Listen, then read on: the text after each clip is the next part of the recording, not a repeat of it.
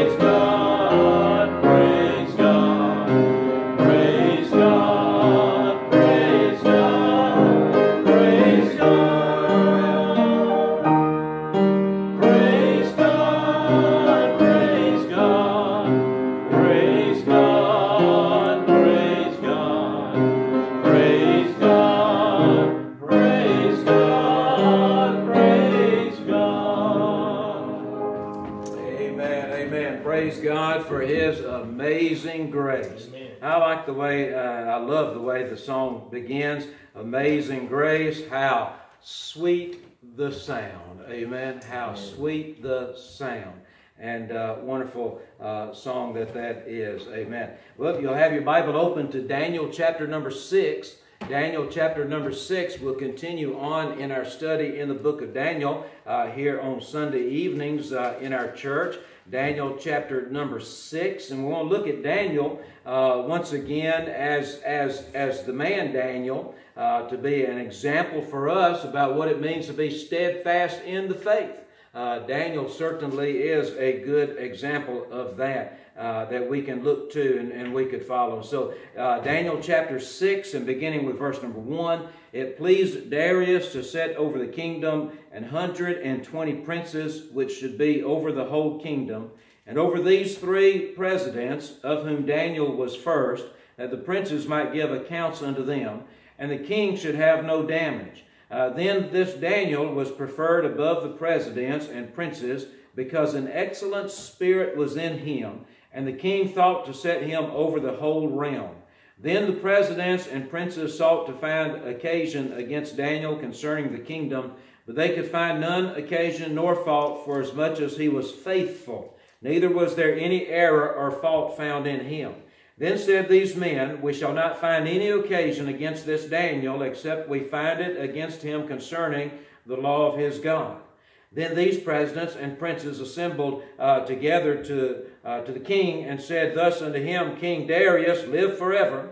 All the presidents of the kingdom, the governors and the princes, the counselors and the captains have consulted together to establish a royal statute and to make a firm decree that whosoever shall ask a petition of any god or man for thirty days, save of thee, O king, he shall be cast into the den of lions.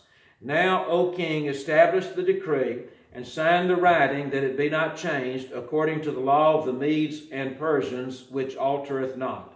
Wherefore King Darius signed the writing and the decree. Now, when Daniel knew that the writing was signed, he went into his house, and his windows being open in his chamber toward Jerusalem, he kneeled upon his knees three times a day and prayed and gave thanks before his God as he did aforetime. Amen. Let's pray. Lord, thank you for the reading of the Word of God this evening. And thank you again for allowing us the privilege to be able to be gathered together uh, here in your house on the Lord's Day for this, our evening service.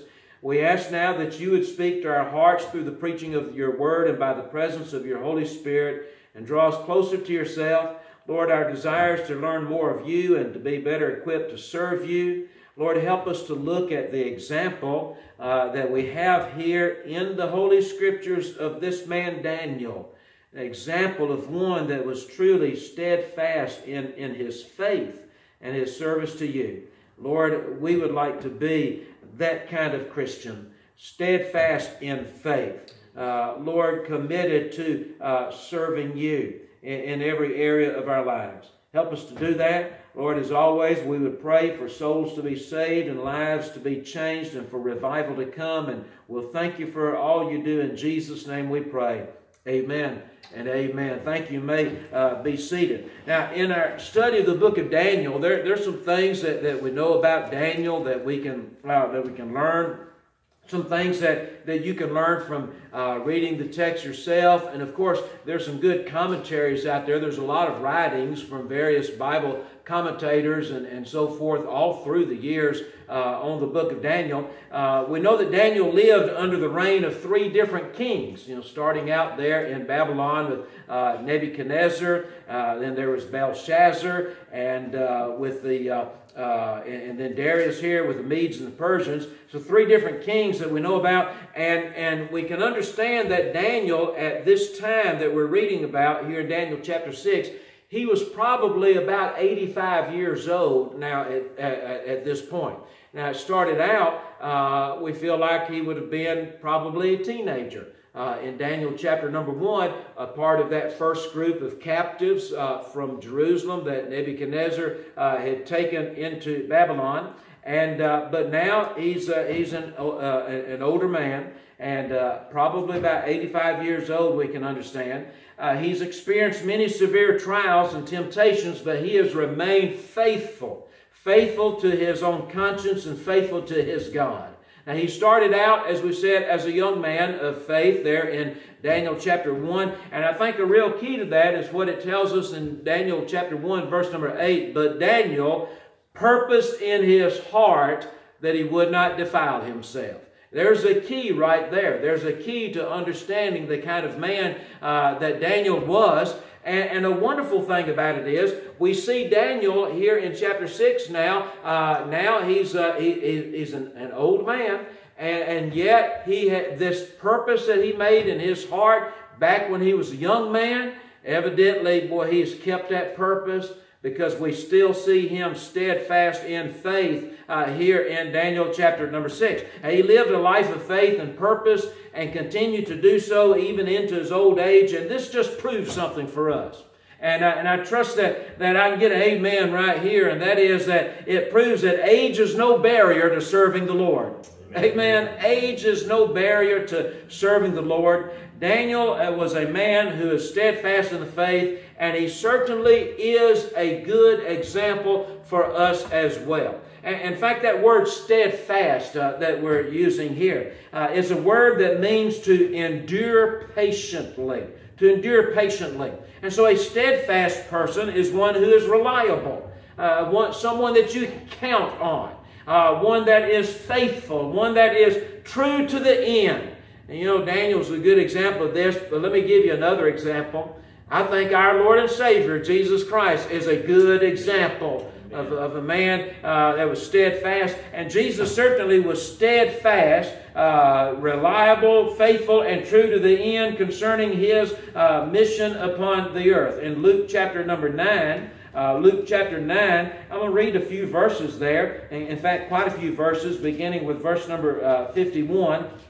Luke chapter 9 and verse number uh, 51.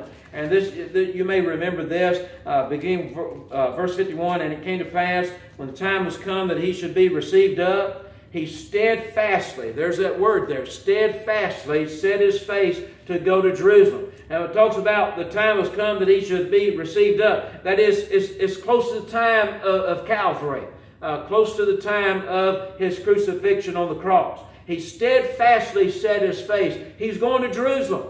Nothing was going to uh, detour him. Nothing was going to uh, remove him from that mission. He knew what he was facing. He told his disciples uh, before that uh, that he would be put to death, that he would be mocked, that he'd be uh, spit upon, that he'd be crucified, that he'd put, be put to death there in Jerusalem. He had told his disciples this. He knew exactly what he was, uh, what was in store for him, but yet he steadfastly had set his face to go there. there that's that's determination. That's steadfastness. It, goes on, says, uh, uh, Luke 9, verse 52, and, and sent messengers before his face, and they went and entered into a village of the Samaritans to make ready for him.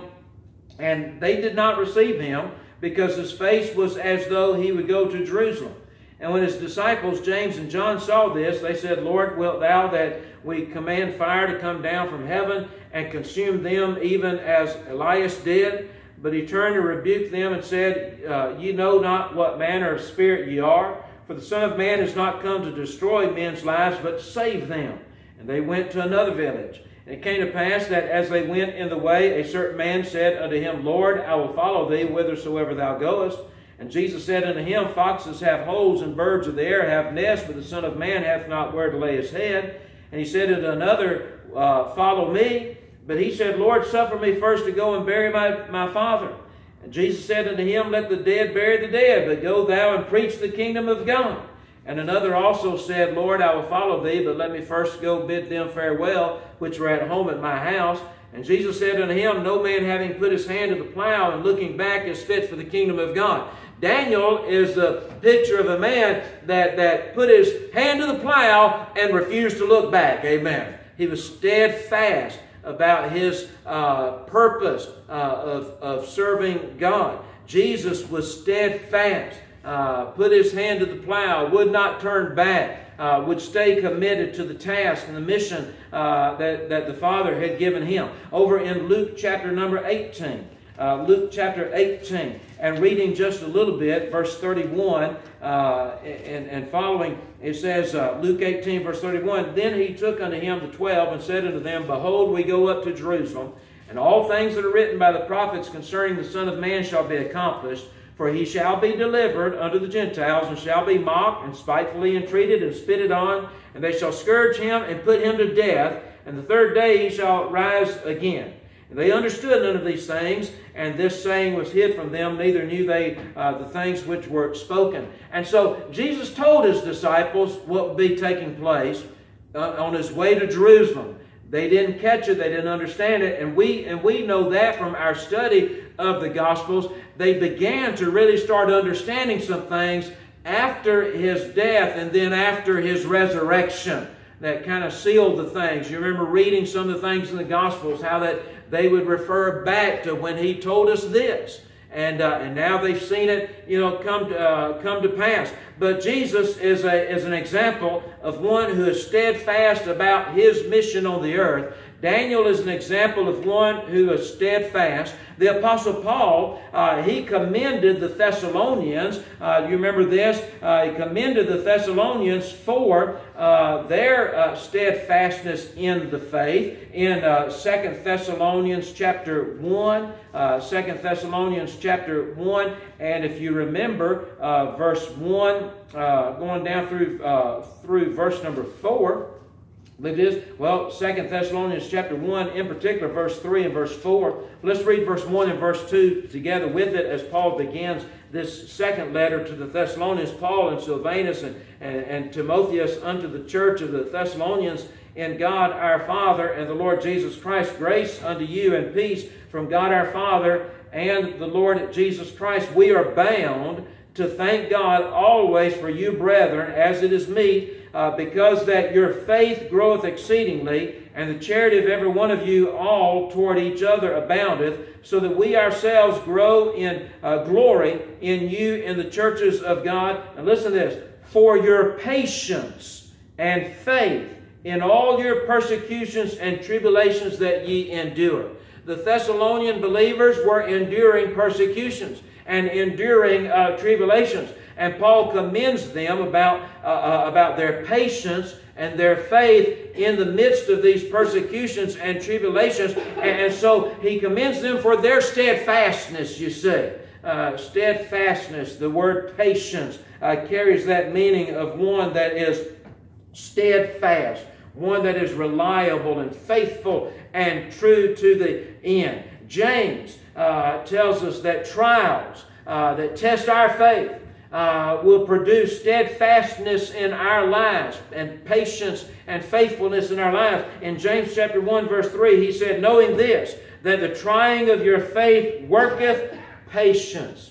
And so, steadfastness, the example that we're seeking to see in Daniel here, it means to endure, it means to persevere, it means to keep on keeping on. Amen. And truly, that's what our heart's desire would be to do, amen, to keep on keeping on in living for the Lord and serving Him, even in the midst uh, when our faith can be on trial And we're living in a generation where that only not only is a possibility, but that very uh, very well is something that will be likely to happen.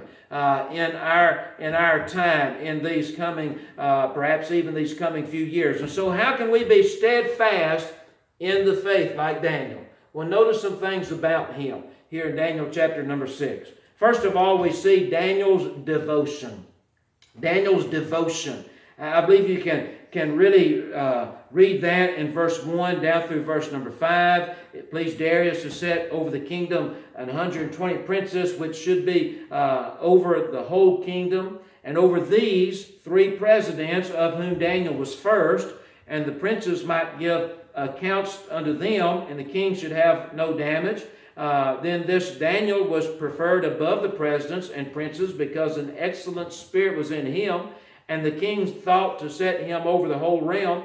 Then the presidents and the princes sought to find occasion against Daniel concerning the kingdom, but they could find none occasion nor fault, for as much as he was faithful. Now, those two things it says about him. One, in verse 3, there he had an excellent spirit. In verse number 4, uh, he was faithful. Neither was there any error or fault found in him. Then said these men, We shall not find any occasion against this Daniel, except we find it against him concerning the law of his God. Here we see Daniel's devotion is really on display here in the way that it is described uh, in these verses. We know that Daniel began each day with prayer and devotion before the Lord. If you look over to verse number 10, how it tells us in verse 10 that he kneeled upon his knees three times a day and prayed and gave thanks before his God as he did aforetime. Now, this decree had gone out that no one was to do that.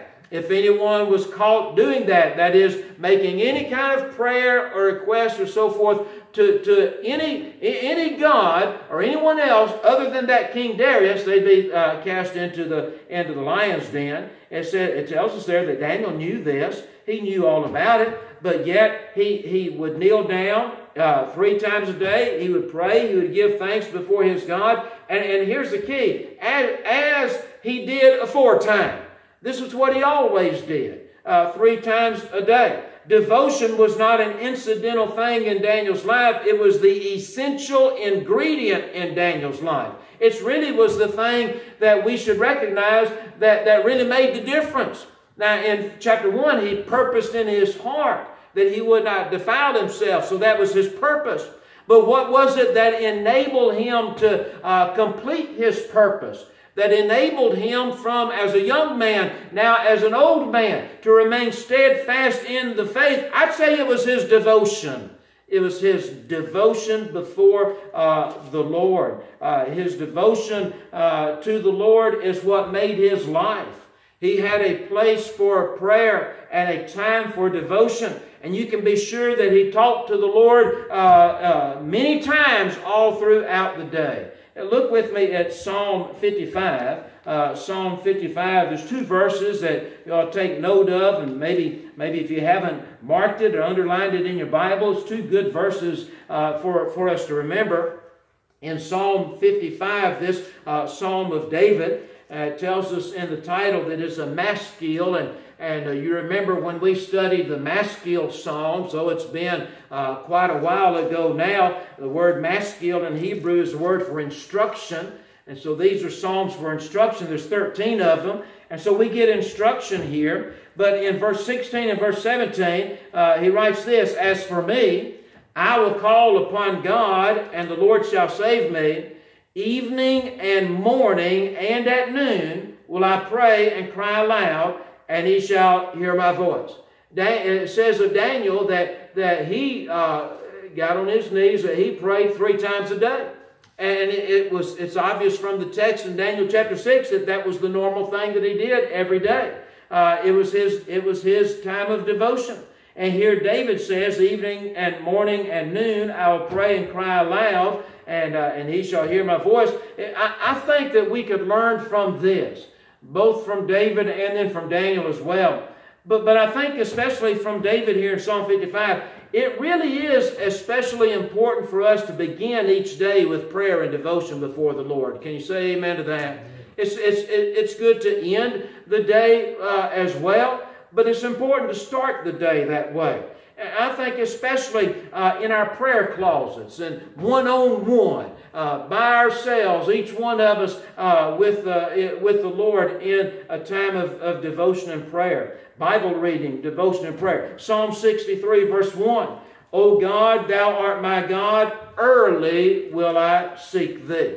Now that can refer to early in your life. It's good to try to encourage our children, even at a very young age even at a very early age, just really as soon as they can understand. We should, we should really try to help our children and our grandchildren and so forth see the need of seeking God, of seeking after the Lord. Oh God, thou art my God, early will I seek thee. And there's a lot of examples in the Bible, in the Old Testament, of, of young people that would seek the Lord or early in their lives. And, uh, but also, it can be uh, applied to early in the day early in the morning before we get started with anything else and, and our minds get cluttered with other things. Early will I seek thee. Psalm 50, uh, or Psalm 5 rather, Psalm 5 and verse number 3. My voice shalt thou hear in the morning. O Lord, in the morning will I direct my prayer unto thee and will look up. And so it's early in the morning. You know, we have the example in the in the Gospels of Jesus himself uh, the Bible describing how that he would arise early before, before the sun would come up. And he would go and be alone and, and would uh, spend time in prayer uh, to the Father. And so you've got Daniel's devotion here. And, and a couple of things that stand out about this. I think one is the integrity of his character in verse number 5 the integrity of his character. Daniel chapter 6, verse 5. Then said these men, We shall not find any occasion against Daniel, except we find it against him concerning the law of his God. Now, now it, it just it's just made known to us here in the scripture that these other men, uh, they, they were doing this for the very purpose. Uh, they, weren't, they weren't coming up with this thing to do in order to please the king, uh, Darius. They wanted to catch Daniel. They were jealous of Daniel and they wanted to get him in trouble. Daniel's enemies are witnesses to the purity of his life. Uh, as a man of prayer and faith, he was faultless. And so the only thing they could think to accuse Daniel of was his undivided devotion to the Lord. They wanted that king to think that, that, that everyone needed to be totally devoted to him, you know, as the king. But no, Daniel was totally devoted to the Lord. And the greatest test, I think an application to be made for us, is that the greatest test of the Christian is, is not the unexpected trial that comes upon us and how we react to that, but the simple routine of daily life. Amen. How do you live your life on a daily basis?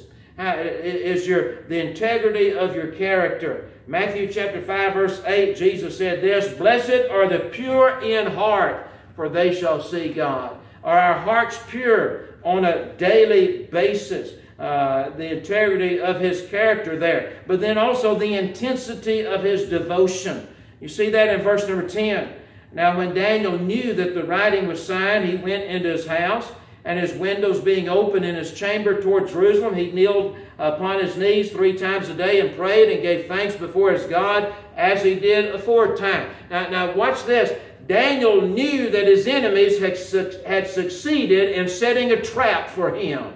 Uh, he knew that he helped us. You know, he could have had his devotion, he could have had his prayer with the with the windows closed, and I'm sure the Lord would have been fine with that. Uh, we, I think we could suppose that. But Daniel opened the windows anyway. I think he knew they were, they were going to be watching him. Uh, he, he knew, he understood they'd already been watching him. Uh, but he just trusted God and he continued on. And here's the key it wasn't that he was just seeking to put on a display like a in your face kind of thing you know, to his enemies. Daniel was just doing what he always did. That's all it was. He was just committed to the Lord to just do what he always did. The circumstances had no effect in changing his holy purpose to be true to God. Reminds me of what the writer of the first song uh, says.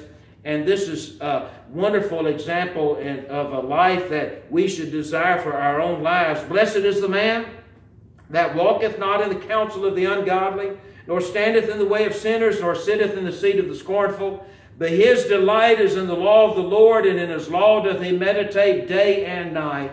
And he shall be like a tree planted by the rivers of water, Uh, that bringeth forth his fruit in his season. His leaf also shall not wither, and whatsoever he doeth shall prosper. I say there's a good picture of Daniel right there. It really is a good picture of Daniel. And it's a good picture of what the desire that we should have for our own lives ought to be. And so with Daniel, in his devotion, the intensity of his devotion and the integrity of his character. But then, just the second thing that we see about him in Daniel chapter uh, number six as a good example of being steadfast in the faith. You see the you see Daniel's enemies here, and the enemy's deception. The enemy's deception from verse 3, really, really reading all the way down through uh, verse number 9. Now, now, you see that, that God honored Daniel for his, his faithfulness. He was practically the second ruler. Uh, it says in verse 3 that this Daniel was preferred above the presidents and princes because an excellent spirit was in him, and the king thought to set him over the whole realm. And so he was practically the second ruler. He was above uh, these three presidents who were above these 20 princes. And it really sounds like uh, Darius had the idea he's setting this thing up. So, uh, uh so he just have it made. He just let these others take care of things, and, and uh, he wouldn't have to worry about it. And he had such a trust in Daniel that he was, going, he was just going to put Daniel over the whole thing and he was just going to go enjoy himself. He would just have that title. Uh, he'd have the he'd have that privilege of having that title as the king, but as of having to run the country, he was going to leave it leave it to Daniel. And so these uh, enemies of Daniel, uh, they were uh, they they were jealous, I think, of all of this.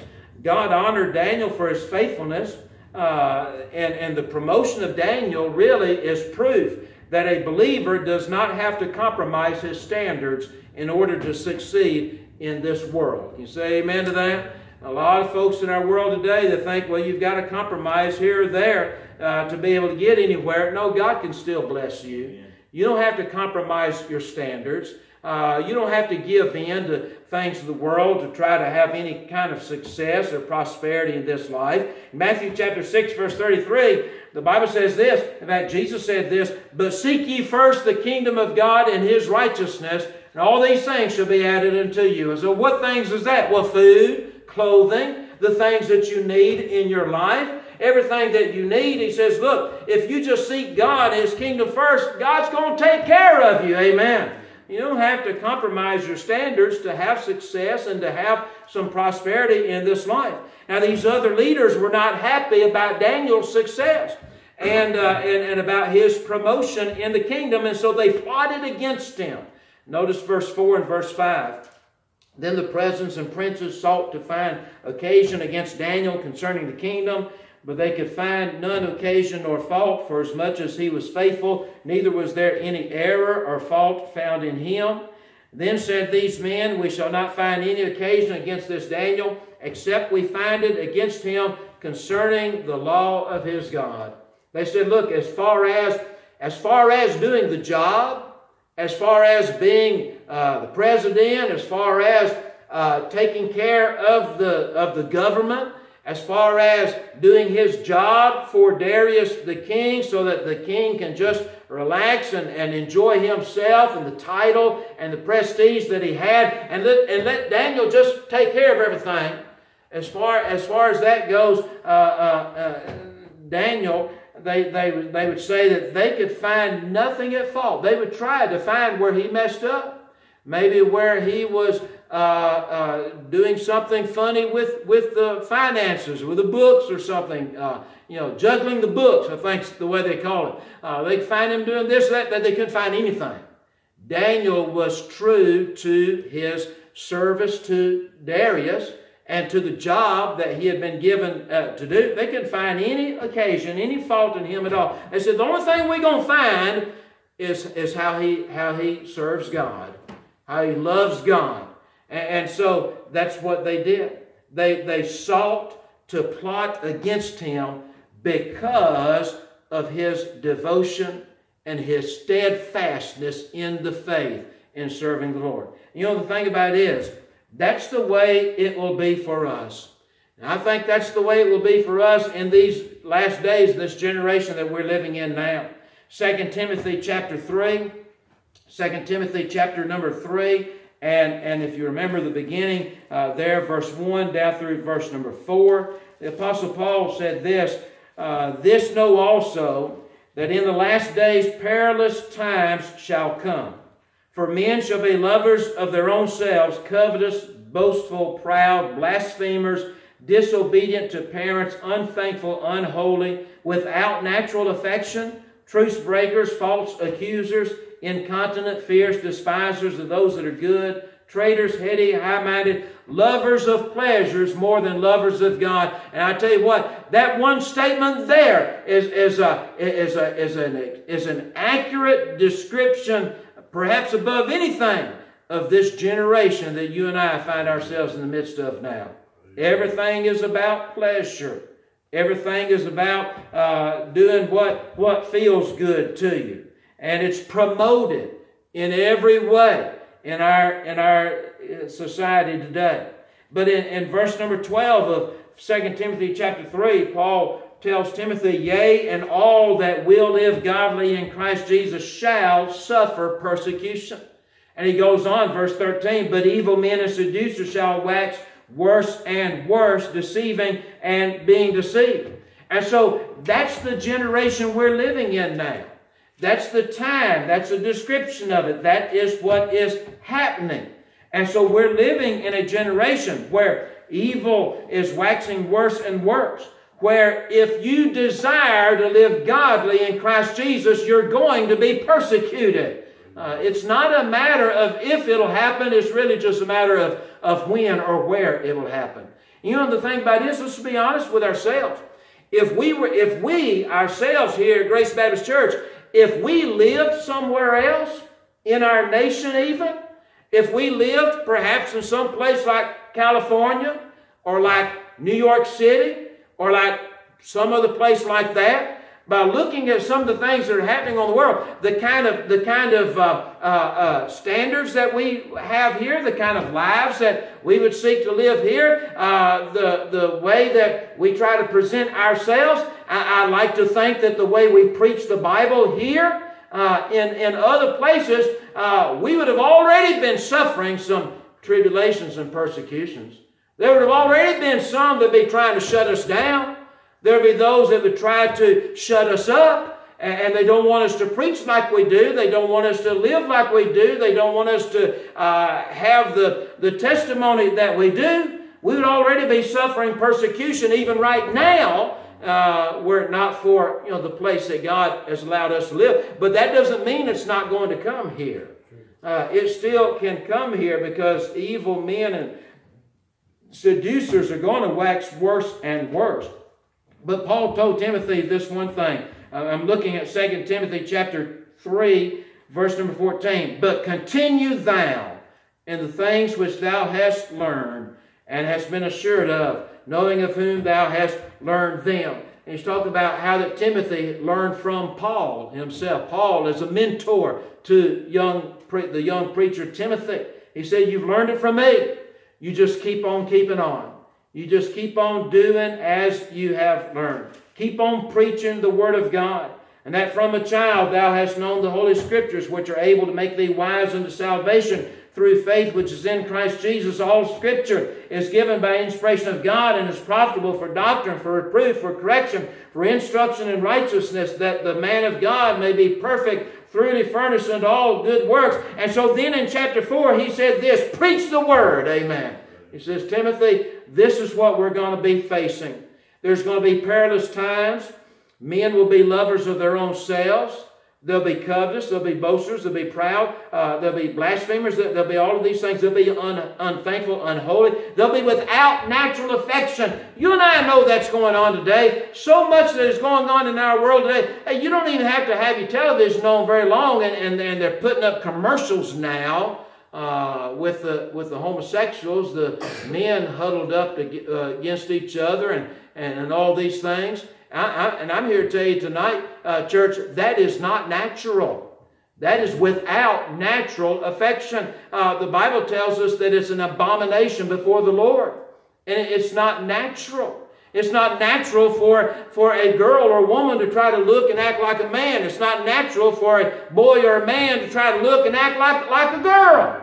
And, and, and we're living in that world today.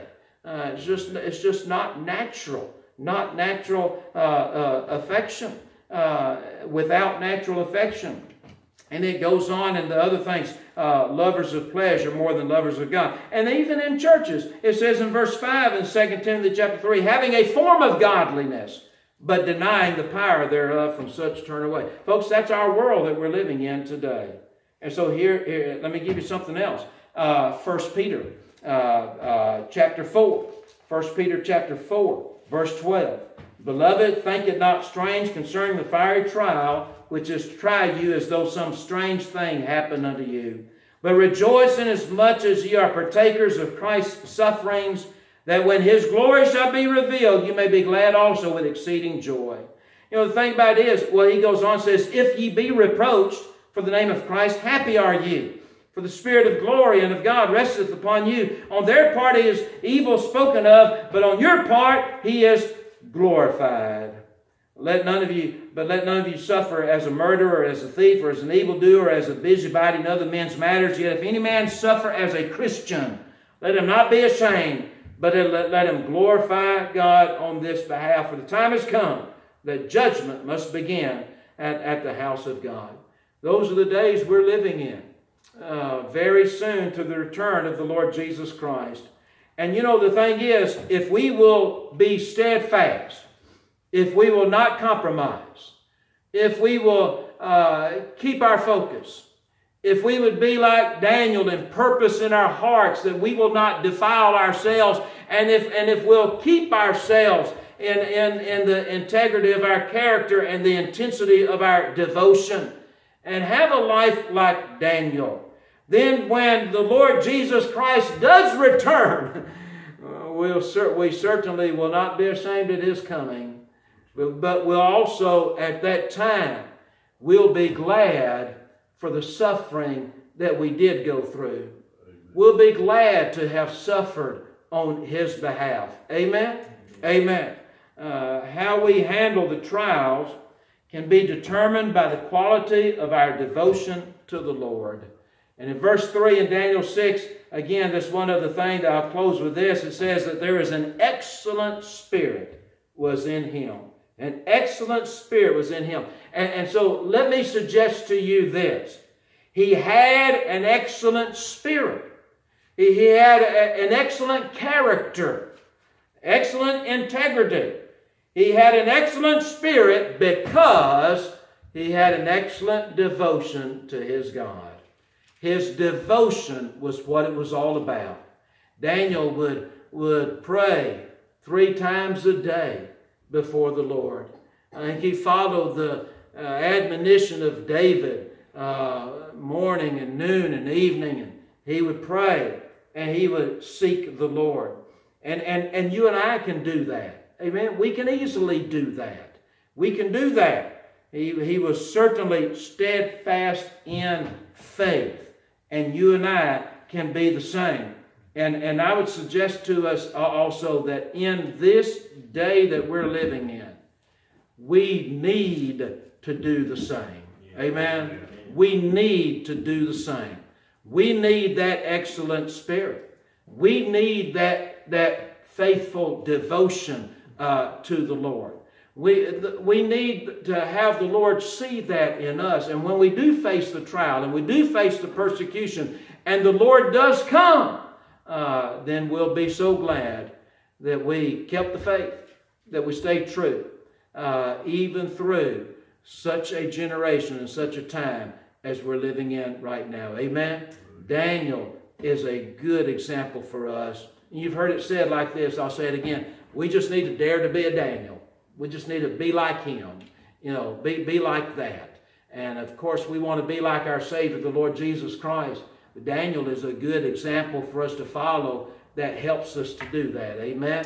Amen. Let's go ahead and stand together, our heads bowed, our eyes uh, closed for prayer. And let's pray. Lord, thank you so much for the Word of God, and thank you for this example of Daniel uh, this evening.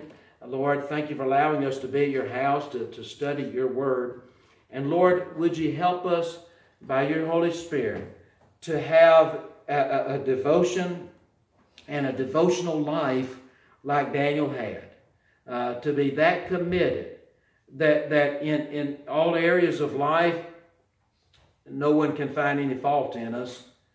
And Lord, that they can, and, and then in everything, if they would find any fault against us, they would fault us for being so devoted uh, to you, Lord. Because we know the world is against that devotion. That they would see us so devoted to you, Lord, uh, that this world would be against us. Lord, we know that we're living in these last days. Persecution and trials are, are sure to come. Lord, help us by thy Spirit and by your word to be steadfast in our faith, in our devotion before you. Help us to remember uh, Daniel.